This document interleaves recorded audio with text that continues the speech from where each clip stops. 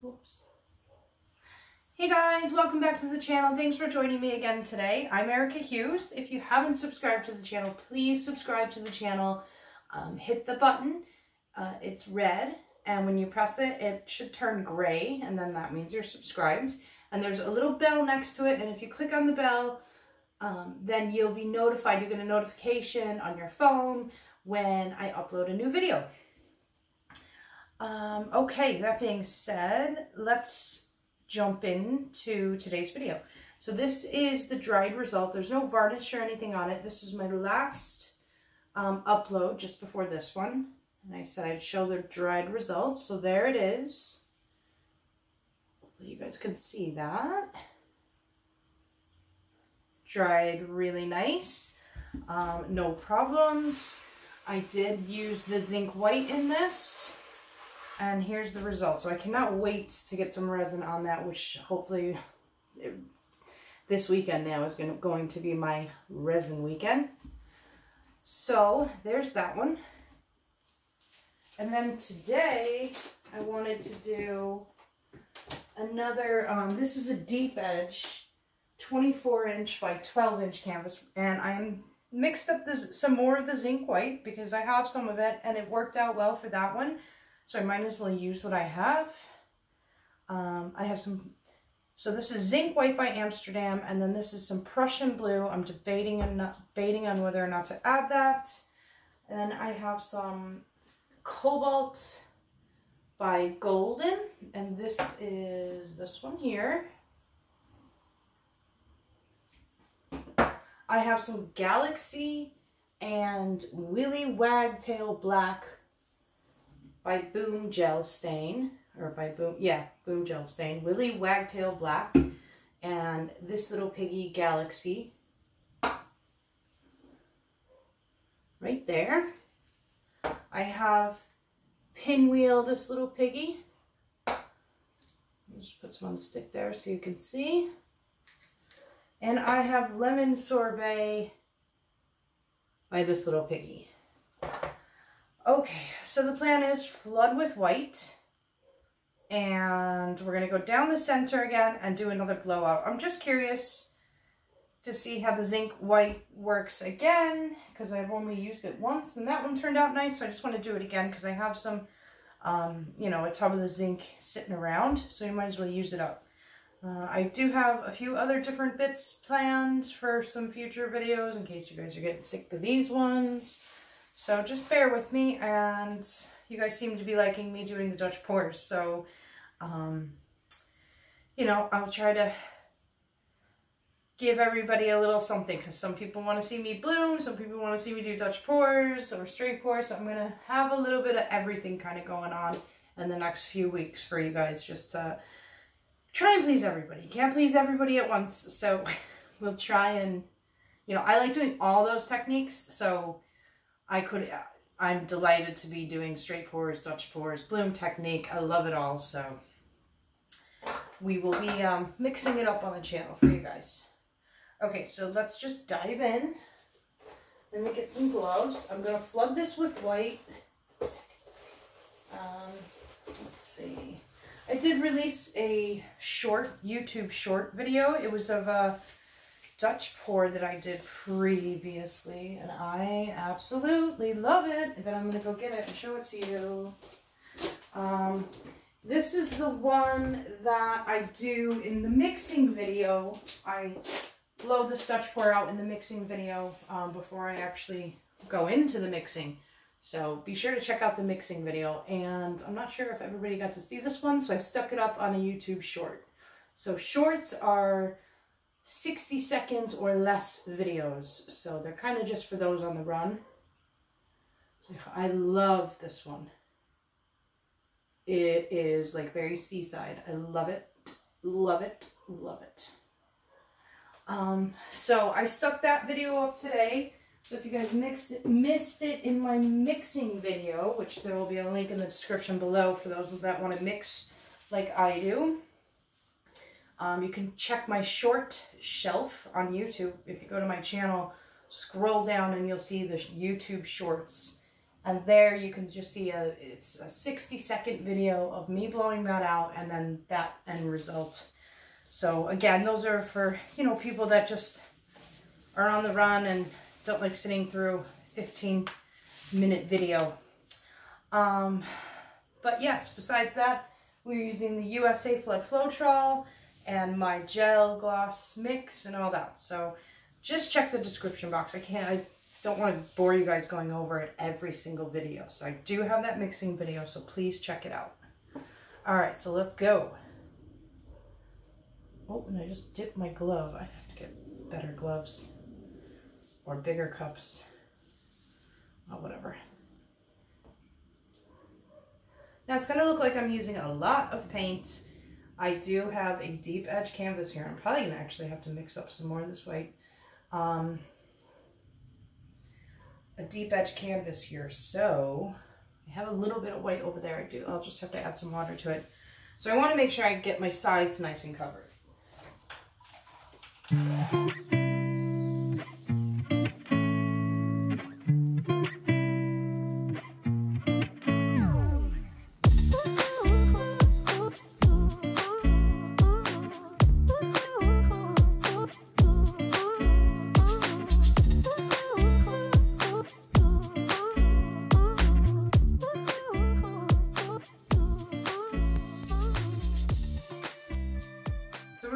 For it. I'm going, going to put down some Prussian blue first down the center. Then we're going to go in this order. We're going to go Cobalt, Galaxy with Wagtail, Pinwheel, and then Lemon Sorbet. Drizzle a bit of white on top and then blow out.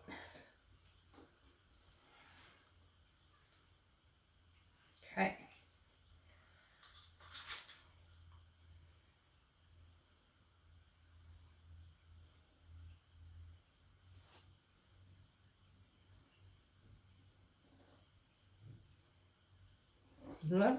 Little speckles there.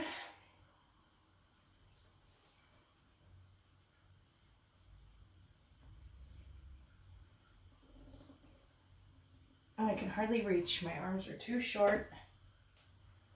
And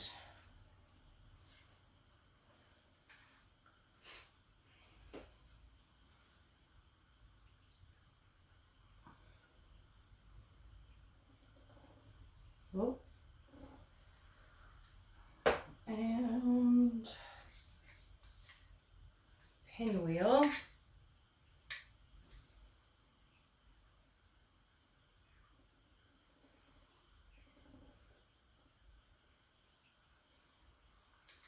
Oh, I hope this one turns out nice. Okay, and then we have some lemon sorbet.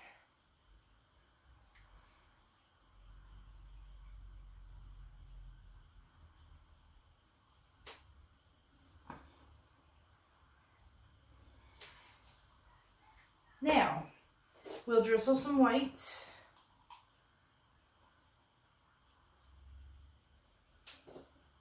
Let's see if that does anything. That's what I did last time and it was nice, so why not do it again? Looks like a, I don't know what it looks like. Stop. Okay, pop some air bubbles. Get the hair dryer. Again, this is my travel hair dryer, 1200 watt, and I use it on low heat. All right.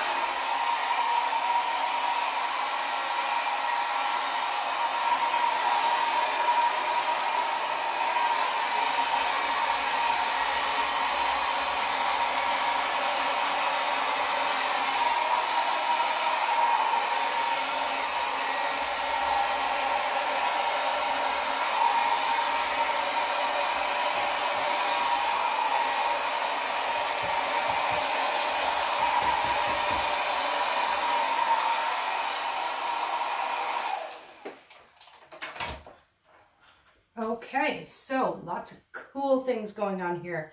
I did kind of mess up a little bit there. I'll fix that. I'll be right back. Somebody's knocking on my door. Cells are developing awesome right here. Like, check that out. And that is um, going to be some fun color shifting going on there. Um, let's see. I'm a little iffy about this these little edges here, so I might spin this around and kind of just soften those up a bit.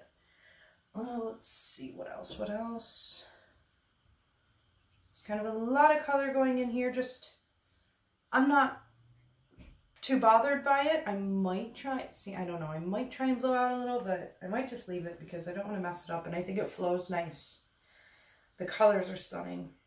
I'm glad I put that Prussian blue in. It's a great color to have, whether it's Amsterdam or whatever. I do love the Amsterdam Prussian blue shade, though. Um, but Prussian blue, definitely get some Prussian blue, whatever brand. Um, cells are gorgeous here. So what I'm going to do is I'm going to scrape off the drips and then I'm going to debate on whether or not I'm going to fix that and I'll bring you guys down for a close-up. Oh my gosh, I love the colors. I love the colors so much. I love how they're they still hold their own. Like they haven't just blended all together and it's just this like one color. Like I love how you have the cobalt violet here and then you can see all the Prussian blue and I love that. Um, so yes, super excited. Okay, let me get to my little spatula. Do, do, do, Where are you? Okay, so Again, you gotta scrape the drips. And this is going to change, it will develop, I've noticed, like it, you're gonna give it a few minutes. So I always like to try and, um, right before I go down to show you a close-up, I kind of like go and take like a 10 minute break and then come back and bring you in for a close-up so you can see the changes because it does spread out. I mean, I did have a very small amount of paint on the canvas, the, the white paint. So, you know, it's not going to be moving a ton, but it will grow as your cells are growing and stuff like that. Paint moves, and if you're not exactly level, um, then it'll definitely move. So make sure you're level. That's kind of my, I kind of slack on that department. I should really bust out my level stick thing and make sure I'm leveled before I pour every time. Sometimes like, cause just because like say my table is level or whatever, like you can get a canvas and it, it could be the slightest bit warped, which is frustrating, but that happens. Um, it could be warped a, like the slightest bit and then that's going to throw it off. Um, if you do get a canvas and the actual canvas uh, is, I wonder do I have one open here I can show you. Um, if it's sagging or the canvas isn't tight, a little trick you can do or just a way to tighten the actual canvas to sound like a drum. You want it to sound like a drum.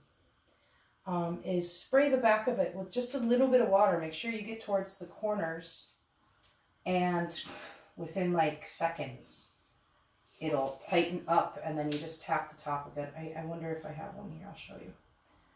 Um, and it just tightens it up and then that prevents any kind of sagging um, in the middle, you know, so this is gorgeous.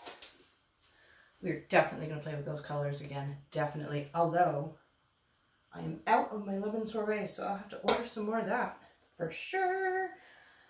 Okay. Um, let's see. Do I have a canvas? I don't have, I have a used scraped canvas that I'll show you what I'm talking about. Okay, so this one was poured on.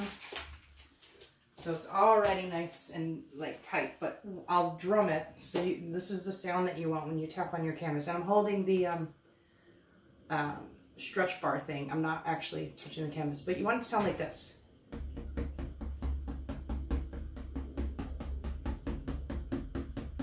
Hopefully you guys can hear that. If it doesn't sound like that, and you know, if it doesn't sound like that, then you want to flip it over, just put it down on your table, get a spray bottle with water, and just spray. And just a little bit, you don't need a ton, and if you get too much, it'll dry. But and make sure you kind of get it into the corners. Sometimes I'll take a clean paintbrush, um, like a wall painting brush, and get it all the way into the corners. And then it just instantly tightens it. You probably hear it better like Anyway, just if anybody wanted to know, probably not, but all right, so I'll bring you guys down for a close-up. Okay, you guys, so here is my viewpoint, how I see it. And the colors are just gorgeous. I have my overhead light off because it was just too reflective. So in a minute, I will show you guys the um, flash on so you can show you with the flash on so you can see all the shimmer. Yeah, it's stunning. I'm really happy that I decided to put that Prussian blue in. I really think it made the piece. I love it. I mean, that's just gorgeous.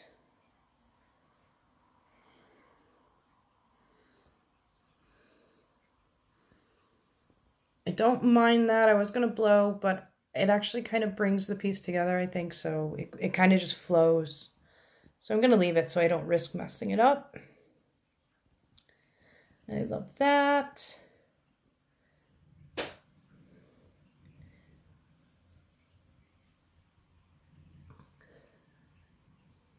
Yes, so I will stick the flash on and then we'll do our little outro.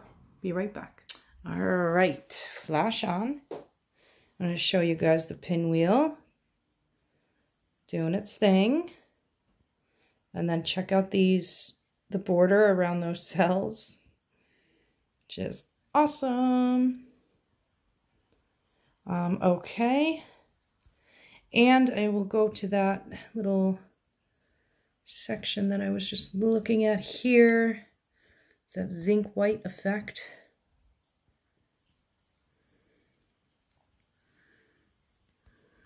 Very cool.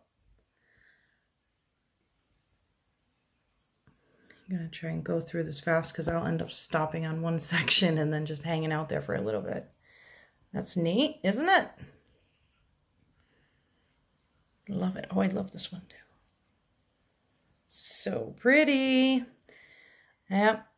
I am loving this piece. Loving it. Okay. All right, guys, I hope you enjoyed this video. Please comment below and let me know what you think. Um, give me a thumbs up. And if you have not subscribed to the channel and you're watching this video, please consider subscribing by hitting the button below and hit the bell to be notified when I upload a new video. There's that galaxy in the wagtail. Now the galaxy is the shimmery one, so the wagtail is just giving that galaxy, it's making it a little bit more opaque, which is cool. Anyway, I'll talk to you guys soon. Have a nice weekend. Bye.